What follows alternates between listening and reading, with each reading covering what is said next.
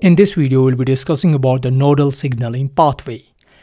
This signaling pathway drives mesoendoderm induction, patterning of nervous system, and determination of dorsal ventral axis in vertebrates.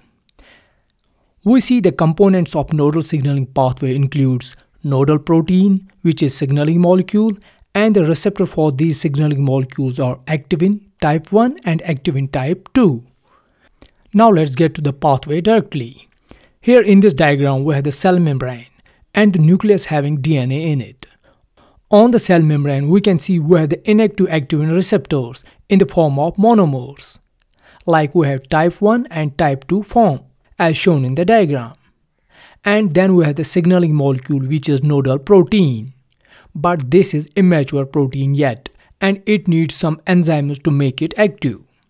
And for this we have the furin and PACE convertase enzymes which acts on nodal immature protein and converts it into mature nodal protein as shown in the animation.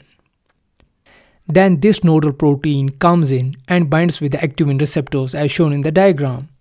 Upon ligand binding, we get the dimerization of activin monomers that type 1 and type 2 receptors form a stable complex after ligand binding. Here we see the type 1 receptor gets phosphorylated through the kinase activity of type 2 receptor. And now this receptor is phosphorylated and active.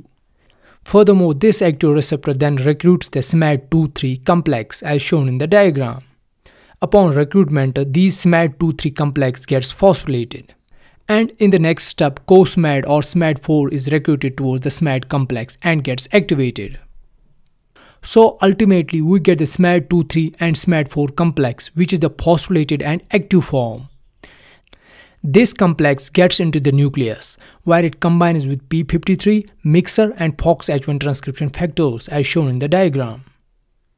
Upon binding with these transcription factors, it drives the transcription of genes involved in mesoendodermal induction, determination and patterning in vertebrates. And through this nodal signaling pathway, we get the transcription of target genes like nodal, Lefty, CRR1, FOXA2, SOX17 and PITX2. And there are many other genes which are expressed through this nodal signaling pathway. Among all these genes, the Lefty proteins functions as an antagonist of nodal signaling pathway.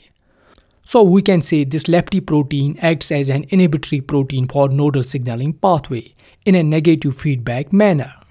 So this is how nodal signaling pathway mediates the mesoendoderm induction, patterning of nervous system and determination of dorsal ventral axis in vertebrates during the embryogenesis. I hope you like the video. If you like it, give it a thumbs up. Consider supporting my work on Patreon or YouTube and make sure to subscribe this channel. Thanks.